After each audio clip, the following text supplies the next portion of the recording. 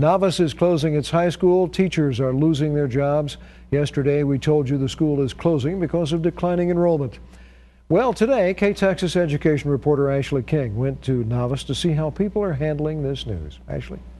Well, Wayne, there are definitely mixed reactions throughout the town. Now, this is a decision that's going to leave five teachers jobless and the high school students in limbo. Nobody wants to lose their school and uh, it would certainly, the preference would certainly be to keep the high school if that were at all feasible, but it's not. Superintendent Dale Freeman explains that in order to get additional state funding, small districts must reach an average daily attendance of 90 students. Currently, Novice ISD only has 80.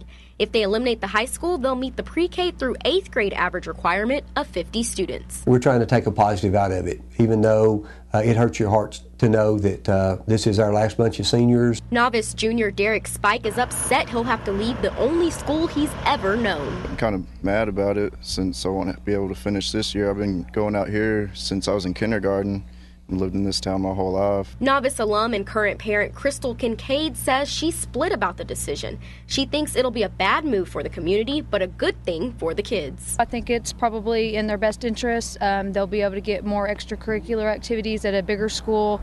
Um, uh, other classes, even college courses and stuff that Novice out here doesn't offer.